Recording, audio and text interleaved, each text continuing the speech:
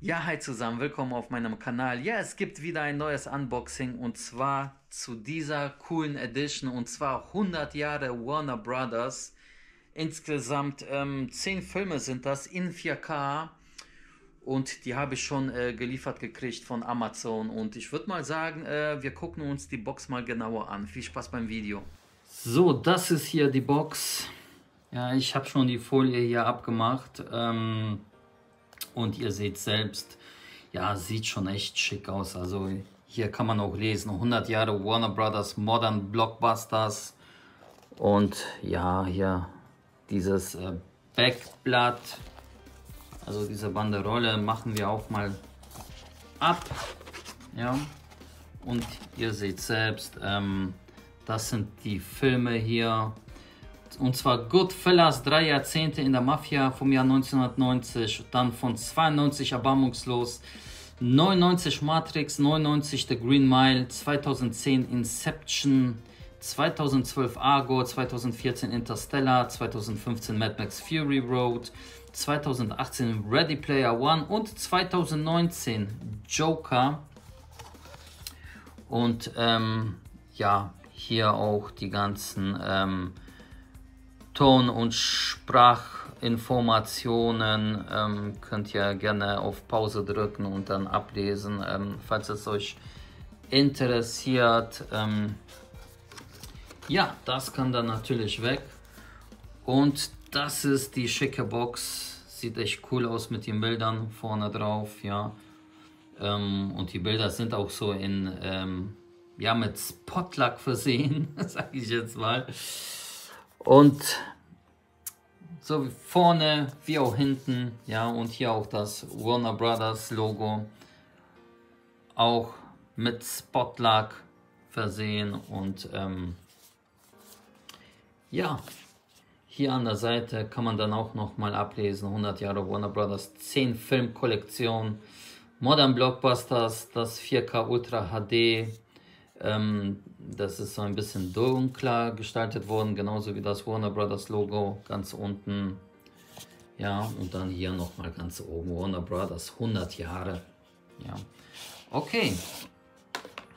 Machen wir es mal auf. Ich bin da echt gespannt drauf. Ja, und das ist auch hier sofort die erste Seite. 100 Jahre Warner Brothers, Modern Blockbusters, ja. Und dann, ähm, ihr seht selbst, das sind schon ja eins von den drei Filmen, die sich in dieser Box äh, befinden.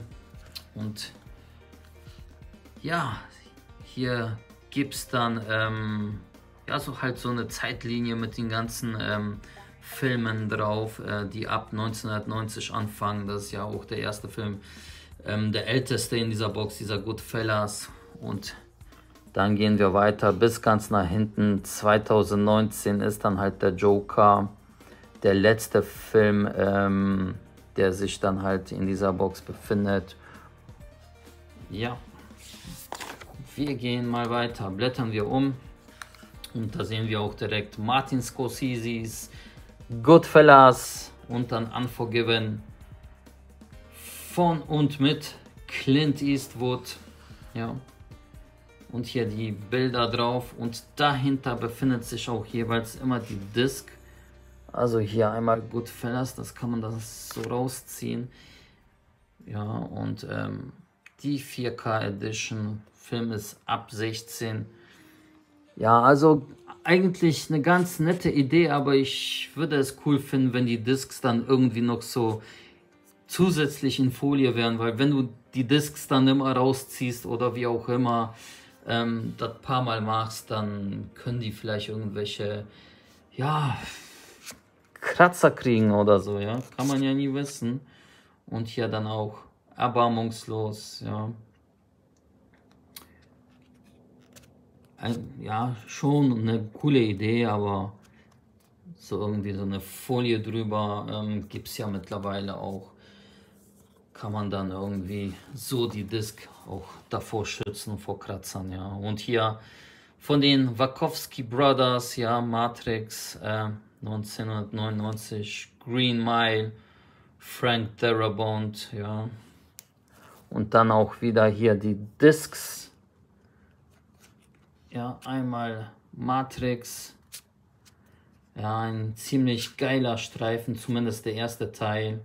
Und Green Mile ist ein Meisterwerk, wirklich. Also eigentlich beide. Ne? Also Matrix 1, äh, das hat mich damals auch sowas von überrascht. Ja, mit dem zweiten Teil haben die es natürlich verkackt. Ja, also mit den weiteren Teilen eigentlich. Also keiner ist so gut wie der erste und die anderen sind ja auch okay. Und ich muss sagen, ich finde sogar den vierten Teil besser als den dritten, ja. Also das sieht man schon. Ähm, ja, Green Mile, ja, mit dieser coolen Szene ja aus dem Film. Ja, weiter geht's mit Inception, Christopher Nolan 2010, Argo von und mit Ben Affleck 2012.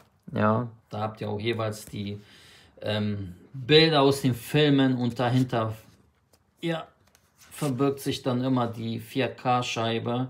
Einmal Inception und einmal Argo. Ja, blättern wir weiter um. Und dann Christopher Nolan wieder 2014 Interstellar und George Miller 2015 Mad Max Fury Road, ja. Und die Discs, die sehen dann eigentlich immer gleich aus, ja, also hätte man vielleicht ein bisschen mehr draus machen können, aber okay, ja, coole Szenen, Bilder noch dabei, ja, aus den Filmen.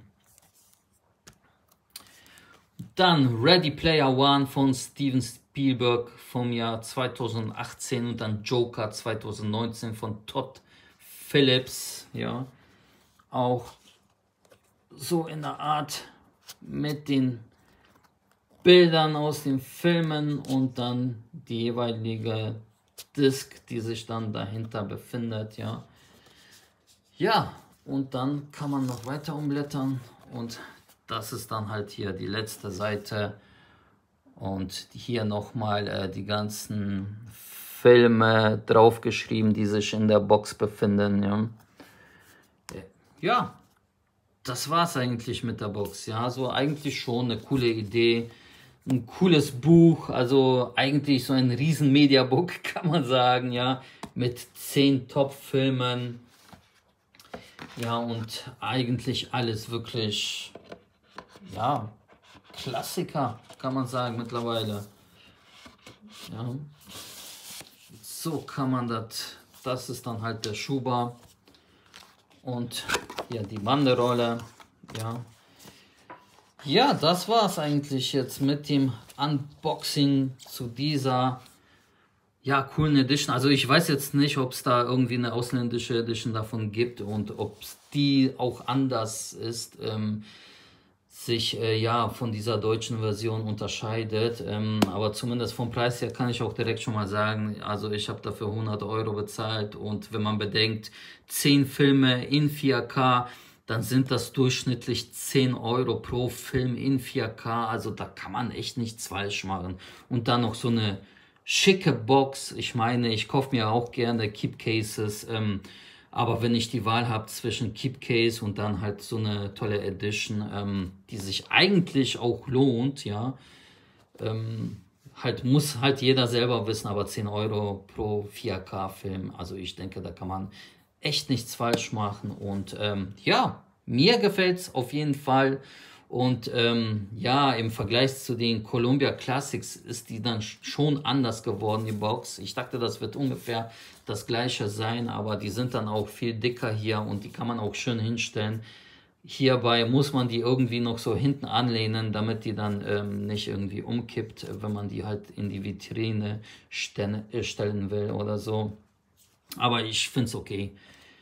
So, das war's mit dem Unboxing. Ja, vielen Dank fürs Zugucken. Wie findet ihr die Box? Hättet ihr auch das Geld dafür ausgegeben? Und äh, wie findet ihr überhaupt die Filme? Also ich finde, alle zehn Filme äh, sind echt genial und mir gefallen sie. Und ähm, ja, von diesen Filmen habe ich auch jeweils einen Keep Case oder so. Das werde ich dann die Tage abstoßen. Muss ich mal gucken und ähm, also halt weiterverkaufen oder so oder in die Tauschkiste und so und dann mal gucken, ja. Also Vielen Dank fürs Zugucken. Ich wünsche euch einen schönen Tag, schöne Woche, schönes Wochenende, je nachdem, wann ihr das Video seht. Und wir sehen uns beim nächsten Mal wieder. Ciao.